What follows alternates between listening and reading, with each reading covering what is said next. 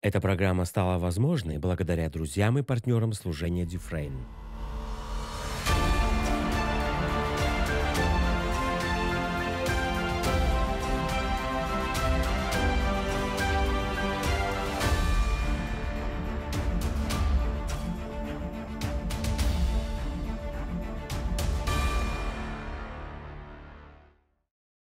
Откройте со мной, пожалуйста, 14 главу Римлянам.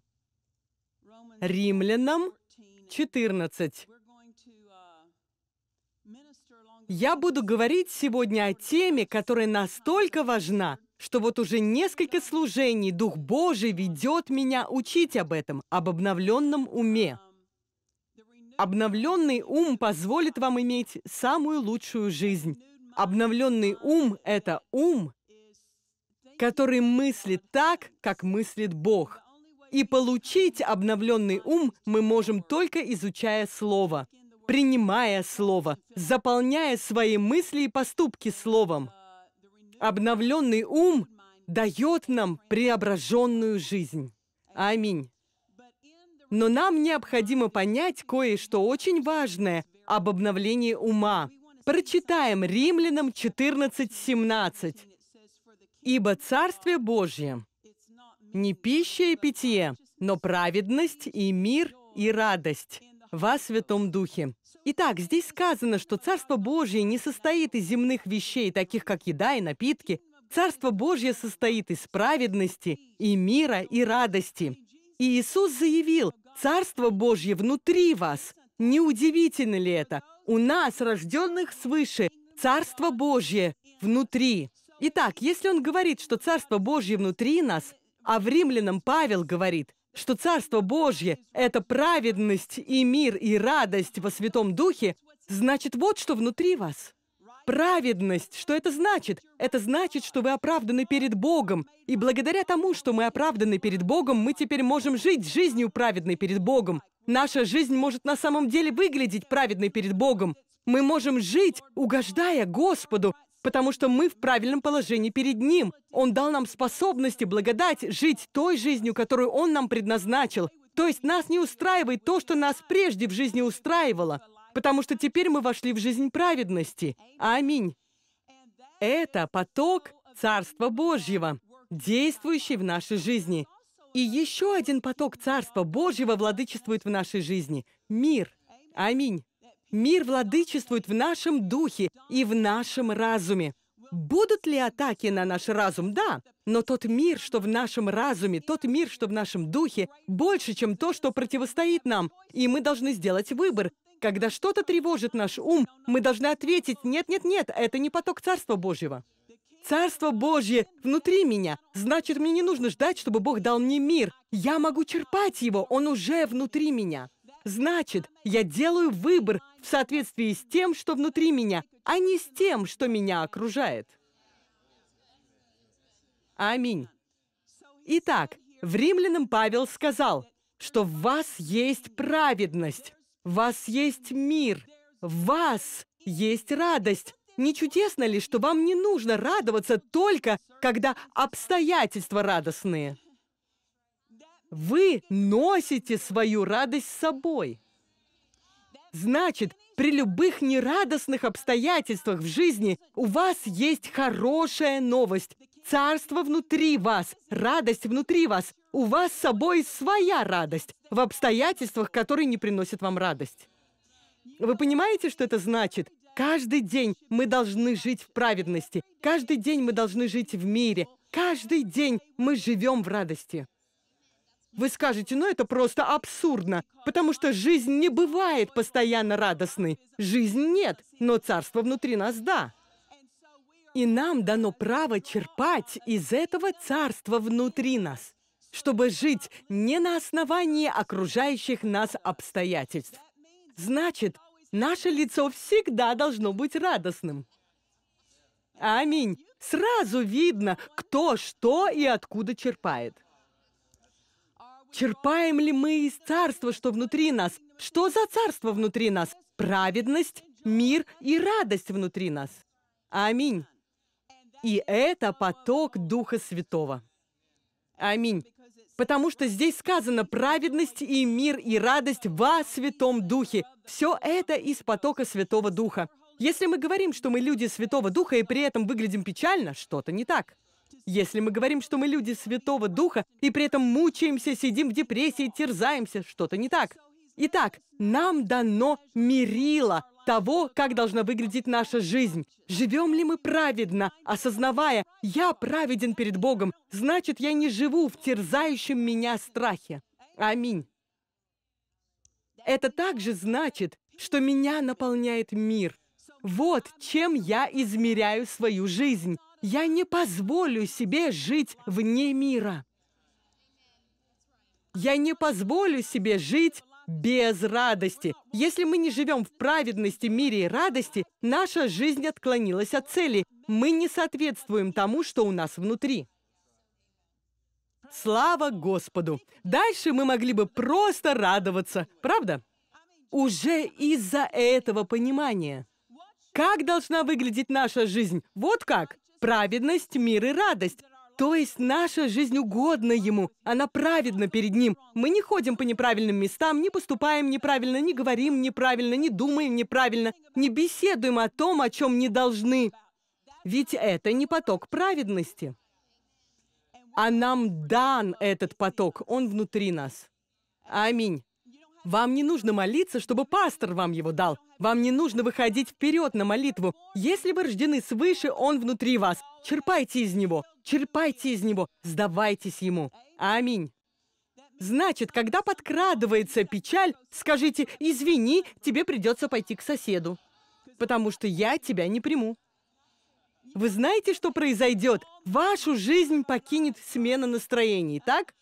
Ваш супруг будет знать, какая версия вас ожидает его каждый день. Слава Господу! Скажите со мной, Царство Божье внутри меня. Значит, я в правильном положении перед Богом. Я могу жить праведно. У меня есть сила и способность жить угодно Богу. Во мне мир, во мне радость. Прямо сейчас, прямо сейчас, что бы ни шло против меня, прямо сейчас, это все во мне есть. И именно на это я буду реагировать. Аминь. Аллилуйя. То есть, все вы должны быть немного бодрее, когда после церкви отправитесь на машине домой. Должны быть немного радостнее, немного безмятежнее, немного правильнее мыслить, так? Аминь. Послушайте, мы праведны не от того, что мы все делали правильно. Мы праведны, потому что Иисус отдал свою праведность нам. Мы праведны не потому, что мы все делали правильно, а потому что Иисус все делал правильно. Аминь. Аллилуйя. Если мы не живем праведно, если мы не живем в мире и не живем в радости, мы не верны тому царству, которое внутри нас. Аминь. Давайте не будем двойными агентами, принадлежащими одному царству, но представляющими другое.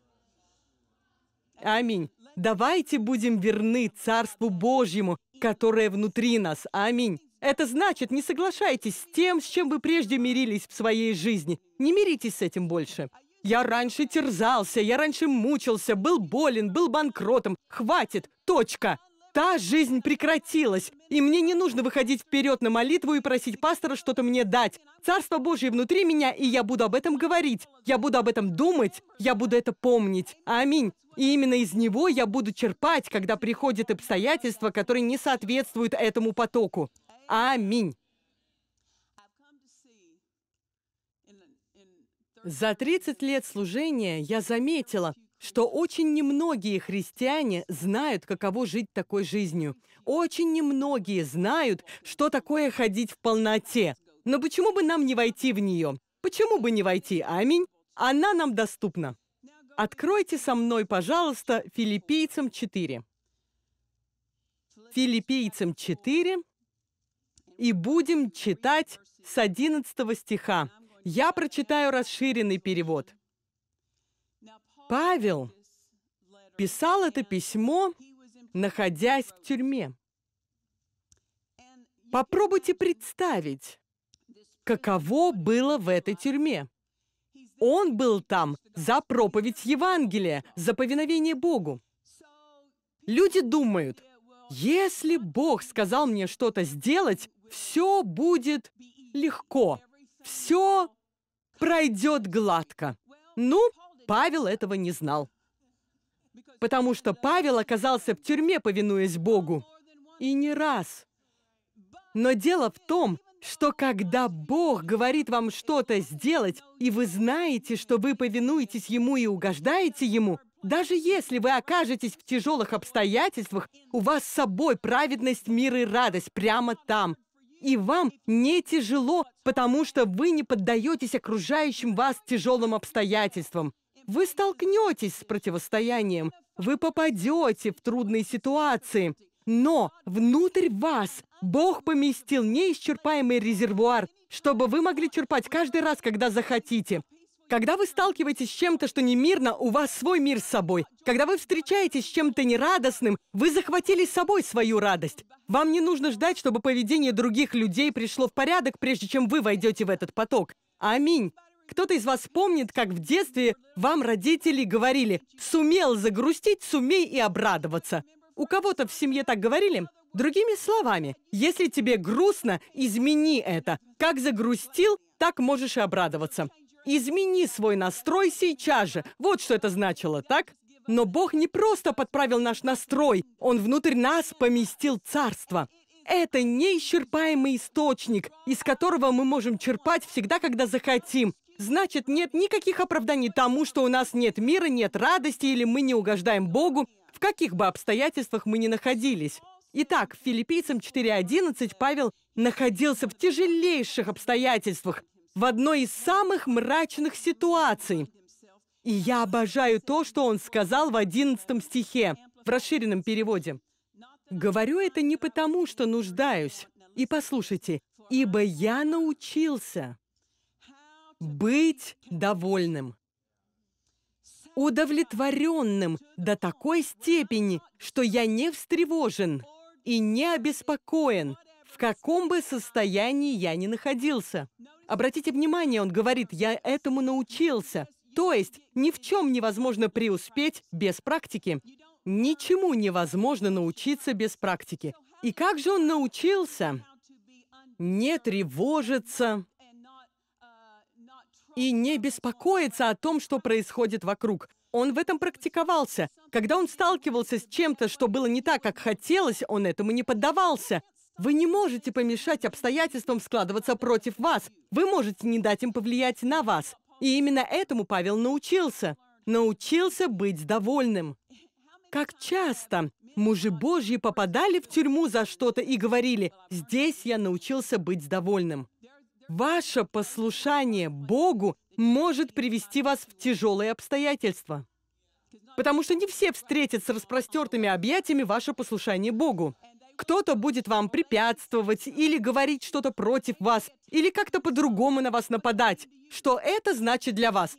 Царство в вас не изменилось, мир по-прежнему в вас, радость по-прежнему в вас, праведность, угождающая Богу, по-прежнему в вас. Так как же это связано с вами? Никак. Просто оставайтесь верными тому, кто в вас и что в вас. И именно этому Павел научился. Научился быть довольным, можно сказать, что он научился черпать то царство, что внутри него. Аминь. И научившись черпать, заметьте, он говорит, я не обеспокоен, я не встревожен, в каких бы обстоятельствах я не находился.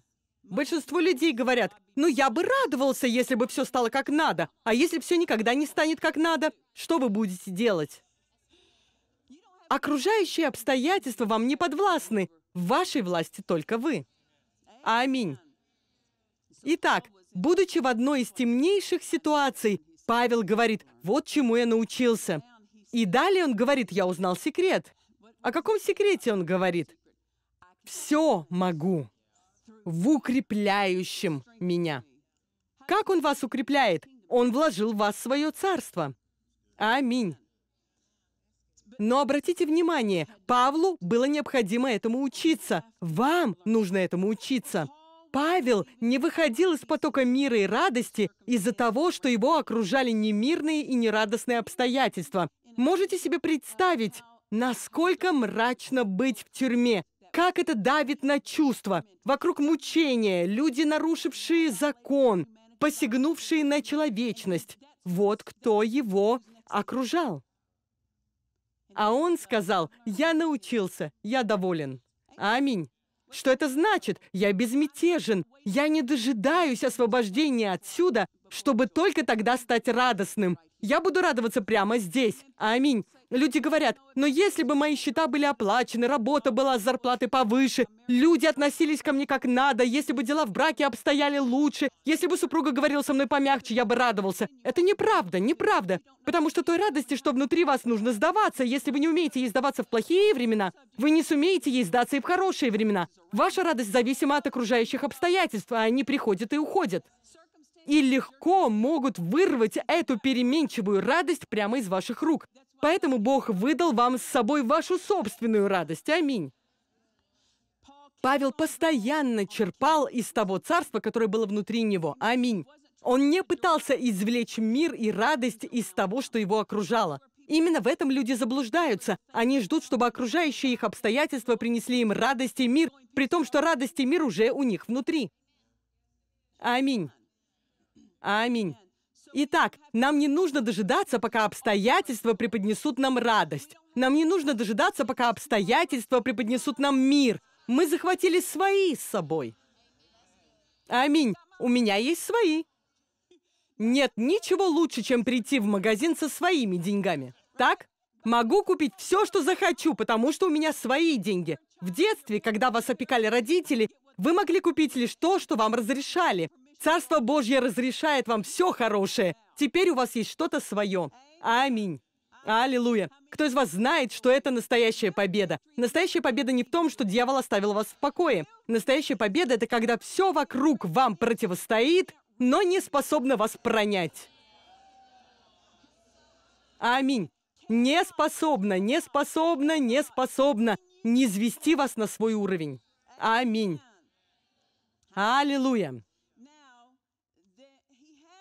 И чтобы не быть встревоженным и обеспокоенным, ему пришлось научиться вот чему. Сосредотачивать свое внимание на том, что внутри него, а не на том, что его окружало или ему противостояло. Запомните, важный аспект жизни, влияющий на нашу веру, это наше внимание. Люди не осознают, что вера связано с вниманием. Куда направлено ваше внимание, туда направлена и ваша вера. Если ваше внимание направлено на что-то неправильное, вы начнете в это верить. Аминь. Если ваше внимание постоянно направлено на ваши чувства, вы будете верить тому, что вы чувствуете. Но люди не осознают, что победить легко. Нужно лишь перенаправить внимание.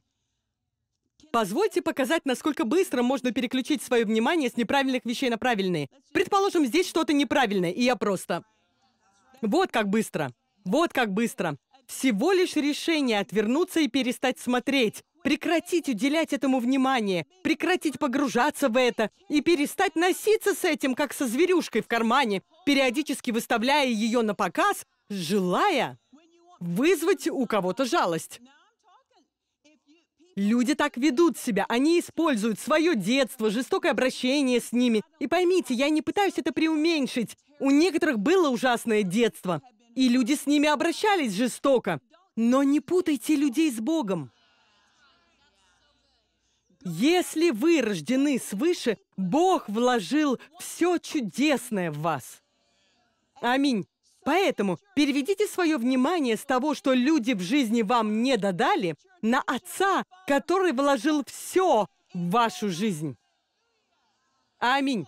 Это значит, что нам нужно избавиться от самосожаления. Бедный я несчастный. Он плохо со мной поступает. Она не так со мной обращается. Нужно прекратить на этом выезжать. Потому что, если люди на этом выезжают при любой возможности, они сорвут свое будущее. Аминь. Как же Павел научился не тревожиться. Он перестал обращать внимание на то, что его тревожило. Аминь. Вы скажете, но я не могу, это же прямо передо мной. Можете. Бог вложил нечто большее в вас. Тот, кто вас больше того, кто в мире. Это значит, что то, что Он производит в вас, сильнее того, что делает дьявол. Послушайте, то, что Божье движение не такое громкое, не значит, что оно отсутствует. Аминь. Дьяволу приходится громко орать, потому что товар у него никакой. Когда у вас лучший товар, вам не нужно носиться и убеждать людей. Вы когда-нибудь замечали? Я не против пойти в магазин за хорошей скидкой. Я не против. Это не грех. Но вы замечали, что по-настоящему первоклассные магазины никогда не выставляют свой товар на распродажу?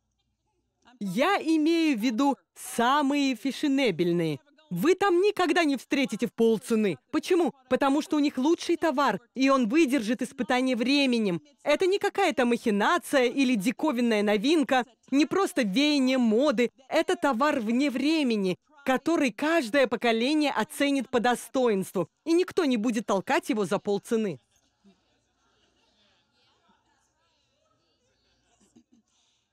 И обычно такие магазины не заполоняют рынок маркетинговыми компаниями. Почему? Подумайте о фирмах, которые существуют долгие-долгие годы. У них такая репутация, что скажи я их название, вам всем они были бы знакомы, даже если вам ни разу не принадлежала их продукция. Вы бы знали об этих фирмах. Почему? Потому что они настолько солидны и надежны. Они предлагают такое качество, что им не нужно заполнять рынок в попытке кого-то убедить. Слыша их название, все понимают, что это обязывает к определенному уровню мышления. Аминь. Но когда все товары вам продают по 49 центов, они сломаются. И ими заполоняют рынок громко и агрессивно. Точно так же ведет себя дьявол громко и агрессивно, потому что то, что он предлагает, испорчено. И оно испортит ваше тело, ваш ум, ваш брак, вашу семью, ваши взаимоотношения, ваших детей. Поэтому ему приходится так громко вести себя, чтобы толкнуть вам этот товар. А люди думают, что то, что громче, лучше. Им легче верить тому, что громче, скажем так. Люди больше верят тому, что громче. Будьте осторожны с тем, кто громче всех. Дьявол ведет себя громче всех только потому, что тихое веяние внутри вас предлагает вам что-то большее. Научитесь уделять внимание тихому голосу внутри вас. Люди настолько легко обманываются, все свое внимание уделяя тому, что громче всего. Дьявол всегда громкий, он всегда громкий, он всегда громкий. Именно так он сбывает свои товары. И вам нужно притихнуть и отключить свое внимание от того, что делает дьявол, чтобы хотя бы заметить, что Бог предлагает. Понятно, что когда Павел был в тюрьме, гнетущие эмоции, узники, все, что его окружало, было таким громким. Никто там не поклонялся Богу в радости. Ему нужно было использовать то, что он прихватил с собой. Аминь. Именно этому людям нужно научиться. Если что-то громкое, это еще не значит, что оно достойно вашего внимания. Дьявол посылает громкую мысль и вбивает ее, бомбардирует ею разум. И люди думают, раз так громко, видно, это правда. Или раз так громко, следует уделить этому внимание. Это как раз знак, что нужно переключить свое внимание. Потому что Бог никого не бомбардирует. Он приходит по приглашению. Аминь. Аллилуйя. Итак, нам обязательно нужно сосредоточить свое внимание на том, какой мы хотели бы видеть нашу жизнь. Чему мы уделяем внимание, то мы и притягиваем в нашу жизнь. Если мы сосредотачиваем свое внимание на болезни, словно все больше болезней привлекается в нашу жизнь. Если мы сосредоточены на том, что мне не хватает денег, мне просто никогда не хватает денег, это мы и притянем в свою жизнь. Если мы сосредоточим свое внимание на тревожных, беспокойных мыслях, на том, что происходит в семье или с родственниками, то эта драма будет только нарастать. Ведь на что направлено наше внимание, на то направлена и наша вера. Аминь. Итак, мы должны быть как Павел. В окружении таких обстоятельств он сказал, я научился. Я научился быть довольным. Я доволен. И поймите, доволен не значит, что он хотел остаться в тюрьме. Он не говорит нам мириться с тем, чтобы оставаться в неправильной ситуации. Он говорит, пока вы в этой ситуации решите, я не буду тревожиться. Аминь. Нам нужно это практиковать. Я говорю, нам нужно это практиковать. Слава Господу! У этого чудесного апостола были божественные откровения. Иисус являлся ему несколько раз, но ему все равно нужно было учиться переключать свое внимание с неправильных вещей. Помню свидетельство одной женщины. Она стала служителем. До этого она была врачом, но потом стала служителем и учила о божественном исцелении. Она учила об этом в течение 30 лет. Будучи врачом, она была настолько перегружена работой, что начала употреблять наркотики, чтобы придать себе сил. И уже вскоре стала зависимой. Она не собиралась попасть в зависимость, но к этому все свелось. И она что только не делала, пытаясь освободиться от зависимости, но не могла. Она рассказывала, что наконец обратилась к Богу и примирилась с Ним, а потом взяла слово и начала пролистывать Евангелие и читать все места об исцелении. Она читала их часами, читала и перечитывала, читала, читала и читала. И она была поглощена этим несколько недель, а потом осознала, что все симптомы зависимости исчезли. И она даже не заметила, когда эта зависимость ушла. Почему? потому что ее внимание отключилось от того, что терзало ее жизнь, и она полностью погрузилась в Слово. И тогда то, что связывало ее и угрожало ее убить, полностью ушло. И она даже не заметила, когда это ушло. Аминь. Вот что делает для нас Слово. Оно стоит нашего внимания. Ко всему, что пытается тревожить вашу жизнь, Повернитесь спиной и скажите «хватит». Я больше не буду это употреблять. Я больше не буду этому сдаваться. Я больше не буду на это реагировать. Но потом вы должны заполнить себя чем-то другим. Заполнить словом. И чем больше вы заполните себя словом, тем сильнее вы будете, чтобы повернуться спиной к тому, что снова пытается привлечь ваше внимание. Аминь. Аллилуйя. Тот, кто в нас, больше того, кто в мире. Аллилуйя. Мы благодарим Тебя, Отец! Мы благодарим Тебя, Отец! Мы благодарим Тебя, Отец! Мы надеемся, вам понравилась сегодняшняя программа. Посетите наш сайт dufresneministries.org, чтобы узнать о ближайших собраниях, поделиться своим свидетельством или обратиться с молитвенной просьбой. Эта программа стала возможной благодаря друзьям и партнерам служения Дюфрейн –